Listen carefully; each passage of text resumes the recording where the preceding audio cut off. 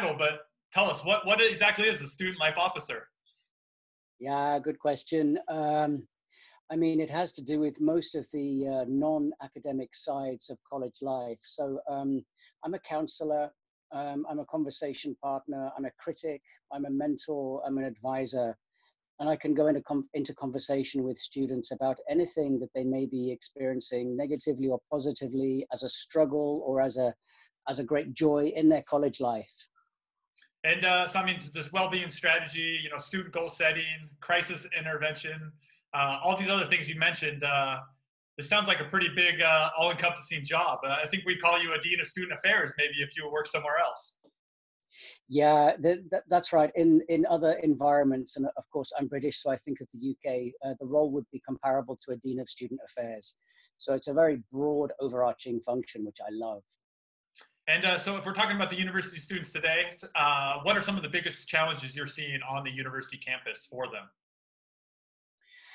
Well, like like the rest of society, they're busy with the big questions. Of course, um, they're busy with environmental concerns, uh, inequality, uh, population growth, radicalization. But in a more local sense, it's a great big balancing act. They're balancing their academic ambitions, their health, uh, their future thoughts, uh, their rest, and their social life. It's a great big balancing act for them. And we talked about this balancing act. I mean, they definitely got like this huge monkey wrench being thrown into it right now with this global pandemic. Uh, yeah. I mean, social distancing, remote learning. I mean, we're in truly a, a public healthcare scare right now. I mean, how are you helping college kids deal with this on a day-to-day basis when you're not physically with them on the university campus? Yeah, we're doing a lot of online counseling. I mean, this kind of platform, we're using um, all sorts of technology to connect with people on the campus, but also those who have left the campus but are still part of the college community. And they, be, may, they may be elsewhere in the world. So I'm doing a lot of um, remote counseling.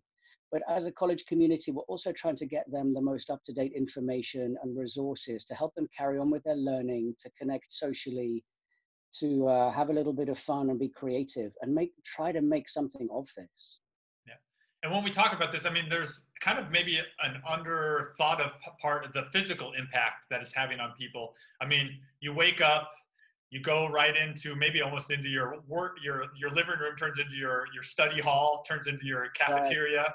Right. um, and so you don't really have these like transition periods during the day. So is are you noticing something with that that physical side that uh, maybe the students don't necessarily understand that what's going on? Like why they're feeling so tired or not having these interaction periods? Yeah for sure. I mean uh, i think it's becoming clear that for some students they actually are very well adapted to change. Uh, they they grew up that way. It's in their dna and they can make the adaptations quite well. But actually for others uh, uh, this transition is harder, and they're noticing that they spend ever more time just with screens. I mean, it's an inevitability, but they're, they're struggling to regulate that. So they're sitting down a lot, they're staring into a screen a lot. Uh, I'm quite close to my screen now, so I should be further away. But that kind of, they're, they're, I think they're missing physical variety in their day, and, and that comes over in their tiredness for sure. And uh, so, I mean, that obviously, if you're having something physical happen, that's going to have an effect also socially, uh, emotionally, mental, mentally. You can have these certain impacts. I mean, what what are you seeing today with the students dealing with this uh, with this pandemic and not not having the traditional classroom experience? Yeah, I mean, uh, huge resourcefulness is what I noticed first of all. Uh, the amount of collective um, effort there is going into making things as good as they can be that's the first thing I notice. Uh, and then it becomes a very individual story. There are no generalizations that really work. Uh, it, and, and the students are all in rather different home environments, or some are staying on campus and they're trying to deal with the regulations that are in place here in, in the Netherlands uh, with social distancing. Um, and they're just having to uh, muscle through it each day at a time. Uh, but I notice that they're doing it on the most part together. Yeah. And uh, I mean, so one part that's definitely missing when you're in a lockdown type thing is you're not having so much uh, time outside. Um, and what what what does that have to do with uh, with people? I know, like in chatting with you, that you know being outdoors is really kind of part of your DNA of who you are. Um, yeah, can you speak on that a little bit? Yeah, I mean, I, I think there's a certain, um, how can I say it? I think people are, are, are very well adhering to the rules. They're very well following the regulations in place. But within that, they're finding the, the opportunities to go walking in the forest or to get into the park. Uh, and near our campus, there's a lot of green space. And we're in Holland, so we're, we're a country that lives on the water. So those who are lucky enough to get out and, and go boating or kayaking can maintain their social distance, but get a little bit of sunshine and fresh air and, and movement in their life as well. So I think those that are placing that firmly uh, in their weekly routine are still managing. And there are some, I know that these young people at, at our university are really, really into their sports. There are some who are really devoted to dance and other sorts of activity. And I think people are just trying to find moments where they can do a little bit of it within the rules. All right. Very cool. And I also understand for you, I mean, you, you're a very accomplished uh, mountaineer, having led some of the highest uh, mountain peak, both solo and uh, with groups in uh, North Africa and in Europe. Um, so how did you get started uh, in sports and in particular in, uh, you know, such a demanding sport as alpine mountaineering?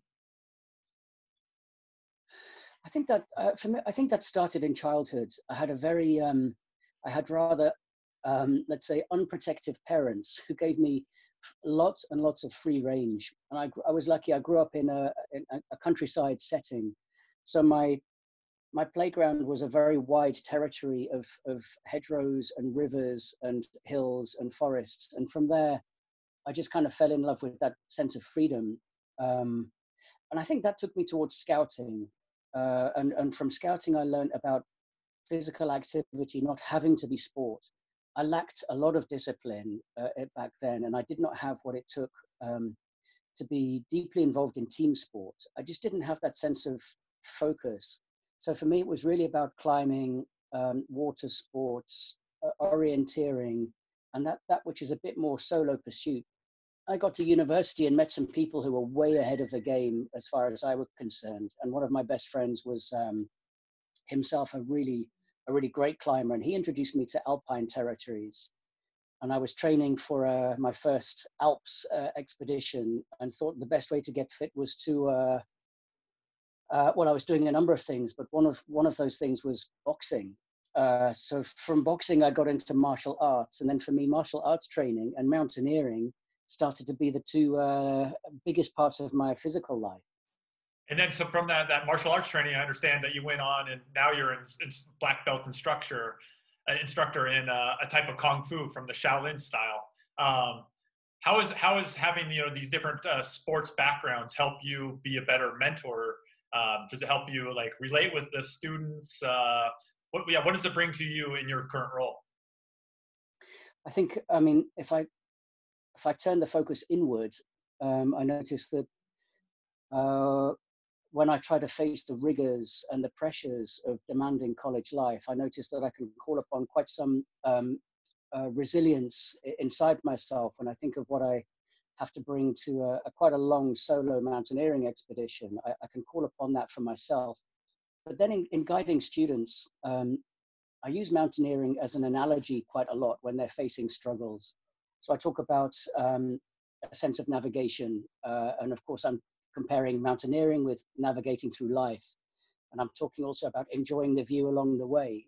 And I'm talking about stopping and making good decisions about your environment before you proceed. So you can use mountaineering as a really nice analogy for struggle.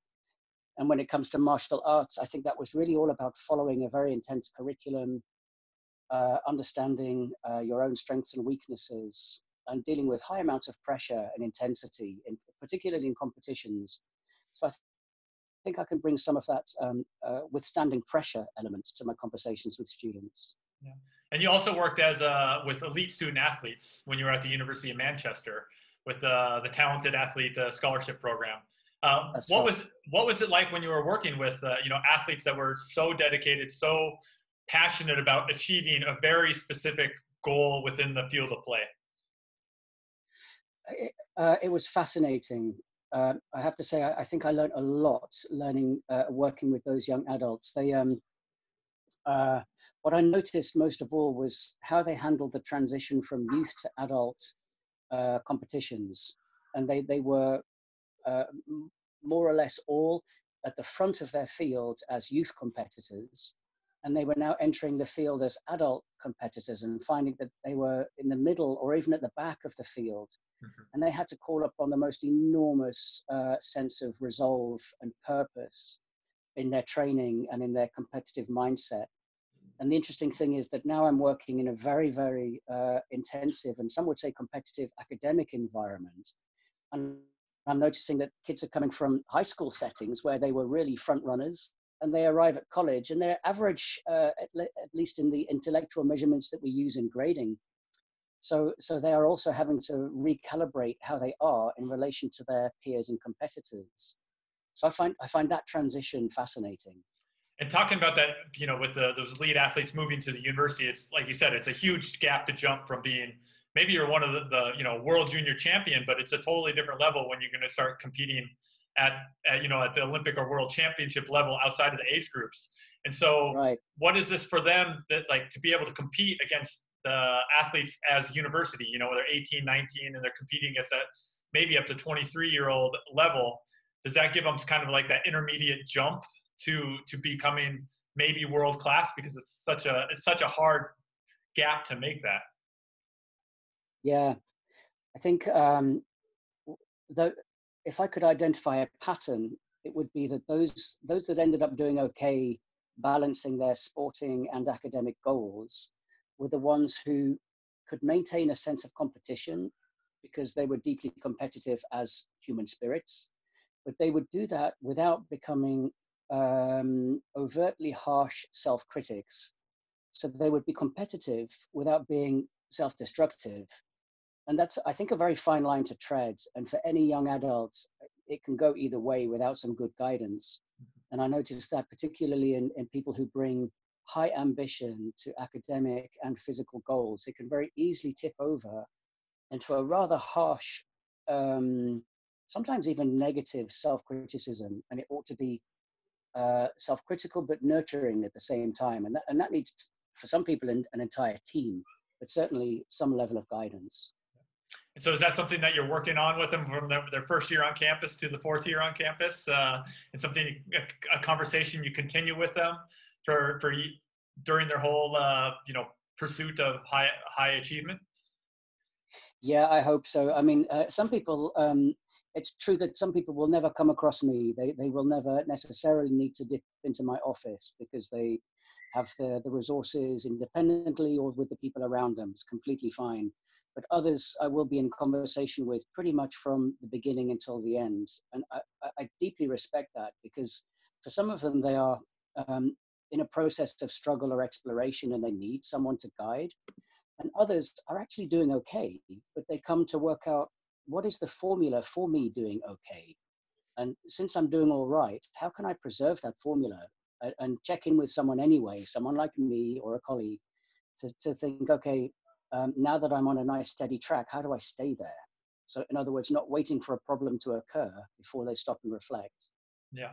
And uh, I'm picking up on a consistent theme here that you really like, or you you really have been working with, you know, emerging young adults that are looking to achieve something both uh, either inside the edge inside of their professional career or or as an athlete themselves. What do you find that's so rewarding about working with students?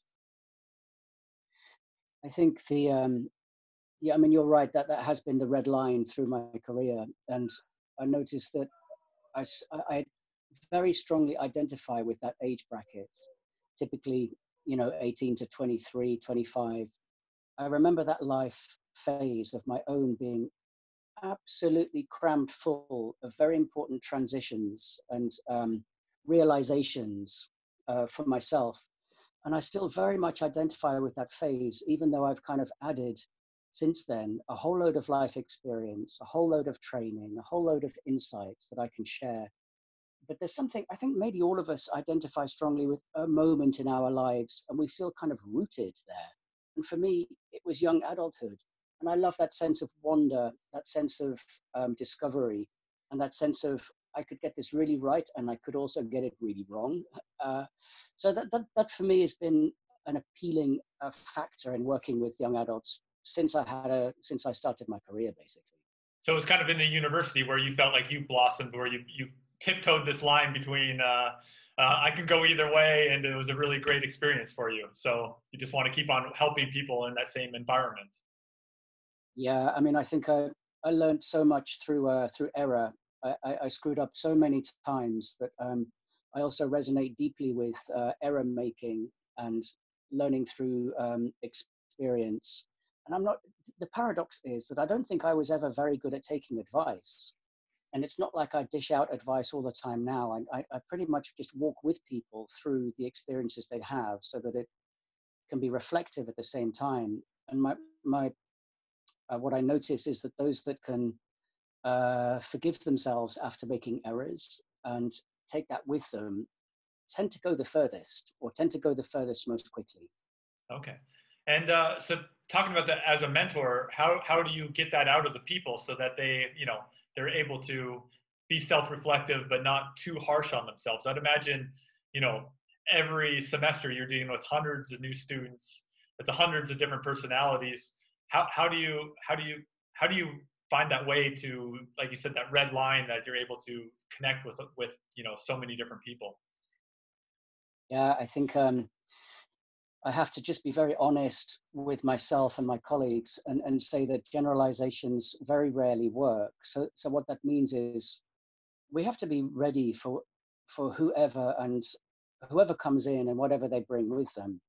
And I think that calls for a very wide repertoire of, of conversational styles. And we have to be extremely skillful generalists uh, who are ready for pretty much anything, whatever it may be, to be the right kind of conversation partner with people who arrive from all around the world. And that, that takes a certain kind of breadth and scope rather than uh, a tight specialism. So you have to be able to be rather agile and quick on your feet. Yeah, yes, because I guess you're also dealing with people that are super uh, experienced in in a specific area, like, uh, but you're able, you're having to find that way to to connect with an IT uh, major or a physiolog- physiologist or a, uh, an educator, and uh, yeah, just find that that unique way for each of those individuals. So that's that's exactly. that. It has to be a. I guess it's you get to learn with your your mentorees then as well. I'm sorry. I, I, guess you get to learn with your mentorees as well. There's probably it's not something that you can ever be like, oh, I accomplished it. I know how to reach every student ever. You know. Oh, totally. Yeah, you, I mean, you certainly need humility uh, because uh, the truth is, most of the energy that I get comes from the students I meet with. Most of the insights and challenges that I get come from the students I meet with. And um, if I'm do- if I'm doing my job right, I'm I'm also somewhat changed at the end of each of my conversations. So I have to be very alert to uh, what I can take from the young adults as well, and it happens every day. Yeah. And one of the things that you probably have to do a tight tight walk uh, tight walk on is, I mean, you're dealing with people then you know oftentimes when they're not at their their their finest moment, maybe they come to you because you're you're that person that can hope to help them get through a situation. And I mean, sometimes you have to probably encourage them to seek medical help, uh, see see other a cl- clinician. But uh, at other times, you know, it's just a part of the human experience that you're going to go through this uncomfortable, painful moment, and, and it seems overwhelming in that moment. But that's just part of of be, humans being humans and being going through college and growing and experiencing. So how how do you how do you take that down, and how are you not too quick to label somebody that uh, that they need to that they have a, a health issue? Yeah, I think the the quality of conversation really matters then uh, because what one can easily fall into uh, preconceived patterns of, of talking about struggle. Um, and by that, I really mean, uh, I think there's a, a, societal tendency to, to think about struggle, confusion, uh, disappointment, um, difficulty as automatically something chronic and um, uh, as a mental health problem and very often it's it's temporary and it's also attached to what we might call a regular framework of human experience. So i think there is a, a tendency to what, what i would call uh, pathologize the human condition rather too readily. And if we are more discerning in our conversations with young adults about that which is very deep rooted and problematic, and that which is somewhat more, um, uh, let's say, passing, then we can more quickly identify those who are in deeper need and who need to be steered towards specialists. But while we blur the lines and while we don't uh, uh, challenge language and challenge ideas with our young adults, we will almost by accident um, enfeeble those who are who we are seeking to empower. So I do think the quality of our discourse uh, can be improved, and we ought to do that through our individual conversations. Colleges and universities can also do something at strategic level in, in how they engage with healthcare services, in how they set the tone for conversations, and how they bring the topic to their students. So it seems like we almost need to change like the language around struggle um, and how we talk about it. Uh, is that something you find in your job? Yeah, I, I, I think that that's certainly true. I think people need to feel understood and heard and respected first of all. And in doing so, that can involve challenge. You know, we, we ought sometimes to challenge the ideas that are brought to us just to test them out. Um, and, and sometimes that's not what your young adult wants to hear because they might not have heard that before. Uh, but in doing so, I mean, it's a form of respect to challenge someone's words and ideas that they bring to you.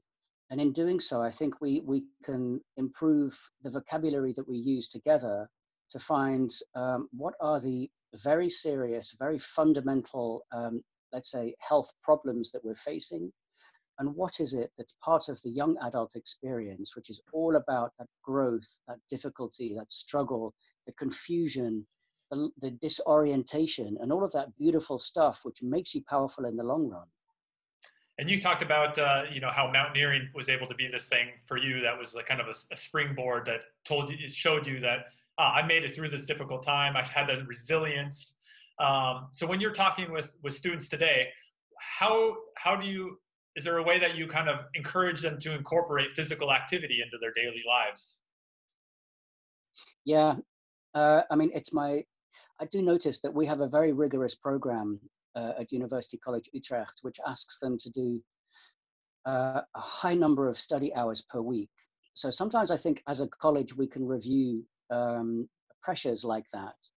But even even when they're in place, I do I do ask students to try to look after the three basics, as I would call them, and that is uh, what you eat, uh, or anything you put inside you, what you drink, what you inhale, or preferably not, um, when you rest, but and also how you move. And I, w- I say to them, uh, move every day your way, so that it's not necessarily about uh, sports teams or something formal like that. But I do try to have them incorporate into their daily routine a form of movement. And we're a residential campus, so you can roll out of your bed and in less than 100 meters, you're in the classroom. So that's a nice advantage for some and a huge disadvantage for those who need a bit more, you know, a bit more of a kick to get started. Yeah. So I'm constantly, I mean, they do this brilliantly by themselves as well. There's a very, very active sporting ethic on the campus and a very strong dance ethic. Uh, cycling, of course, it's the Netherlands. So I, I, do feel like I've got very willing partners on campus, but it certainly comes into many of my conversations. Yeah. And uh, talking about, so I mean, one thing is you're trying to set up students to be successful once they leave the once they leave the university. You know, like when the commencement of the, of their lives that starts after that. And is there anything you know when you start that you start a new job, you have probably some high pressures that revolves that. You might start a family, um, and maybe you know the eating well, doing sport, uh, getting good night's sleep. Maybe it kind of like you know it, it starts giving way to some other activities. Um, how how is that something that you tell the students? You know, this is like kind of a lifelong skills that you're doing, like a practice that uh, can bring you where you want to go, and it's not something just to, to forget when you turn 22, 23 years old and and leave university. Yeah, I must say I, I don't uh, necessarily go into focus with that type of conversation because it feels quite remote and abstract. But at the same time, I, I, do believe that the more firmly embedded these habits and routines are in this phase of life, the, the, the greater the chance is that they will remain. And I recognize young adulthood as one of those life phases where um, the habits that we form can be really long lasting. And we all have a few bad habits, but we just have to make sure as many of them as possible are good. So I'm hopeful that that adaptability uh, will go forward, and that if people enter a good, uh, busy uh, job, they can exercise with colleagues. They may have some more disposable income uh, to to do more. And when you get a family, I mean, that can be the most joyous way to share your interests. And if you're lucky enough to have uh, kids who like to do what you do, or at least um, enjoy the sharing aspect, they don't have to become a mountaineer or, in your case, uh, a, a high-level skier. Um, but they they they can benefit from insights and sharing and just exposure. Yeah, and uh, I mean, it, so much of life comes down to you know making priorities, and one priority you've made recently is to join the FISU Healthy Campus uh, program. Um, I mean, this is a this is a big commitment for you to take on, in addition to being a you know working on the university, a mentor, father, husband. Um, what is it about being part of this Healthy Campus uh, program that feels so worthwhile to you? That's going to get launched here in the next month.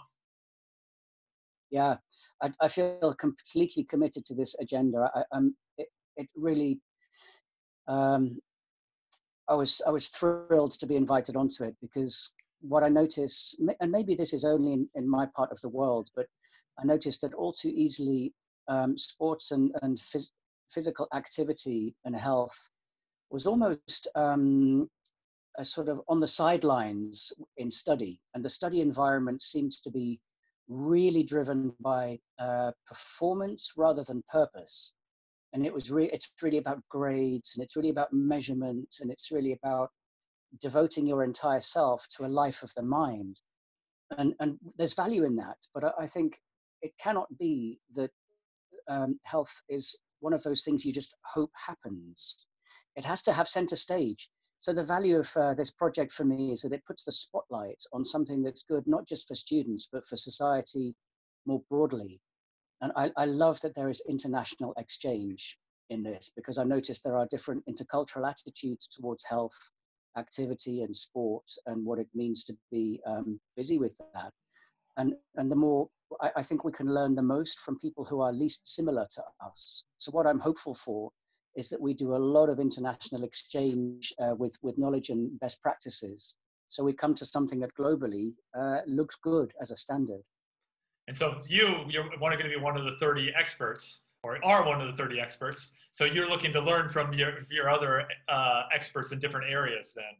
Oh, yeah. Oh, yeah, for sure. Uh, and it's a privilege because I've come across people. I haven't had the chance to go into real dialogue yet because, you know, we're all so remote. We could not meet as we hoped to meet recently at a gathering. We just couldn't do it. But I'm coming across people already who have a depth of expertise that I could only imagine. And this has to do with nutrition, sports management, uh, mental health, physical health. So I'm, I'm loving what we can achieve even within that group. And talking about those first steps you're looking to make with this program, how are you going to define success for, for you working in the FISU Healthy Campus program? Um, yeah, what, what, what's, what's, how are you going to do that? Yeah, well, I mean, far, far for it. I mean, it won't be my role to assess. And I, you know, I, I look forward to those assessors going from campus to campus uh, who, who put themselves forward, and they will have quite a task. But for me personally, I think um, the fact that a, a, uh, a, university would want to put sports center stage is already a huge stride towards what I think success is. The fact that a university would want to aim for it. And then, secondarily, if um, the healthy campus standard is something that is achieved in the long run by uh, universities, then, then I think we have something to be proud of. And then I think we have something we can hold up and, and use as the starting point for more momentum, which hopefully then can spread beyond universities and into uh, societal life much more uh, uh deeply. Well, talking about momentum, Mark, I really hope uh, this program gets off with the, the, the, highest amount of momentum and it just keeps on building. And we come back in one year's time and you just talk, talk about here's where we were when we talked today and, and here's where we are and here's where we're going years down the road. Yeah. So Mark, so Mark, I just want to say thank you so much for, for taking the time to talk with uh, the International University Sport community about, about students' uh, welfare and health. what's going on with the FISU Healthy Campus program. And I wish you the very best to you and the students you work with on the University College uh, Utrecht uh, campus. Thank you so much. It's my pleasure, and it's a, it's a, a real privilege to be part of this. And I'm going to be giving every energy that I can uh, to make it a success. And it's a real pleasure to talk with you. Thanks. All right. Thank you so much, Mark. Yeah. Okay.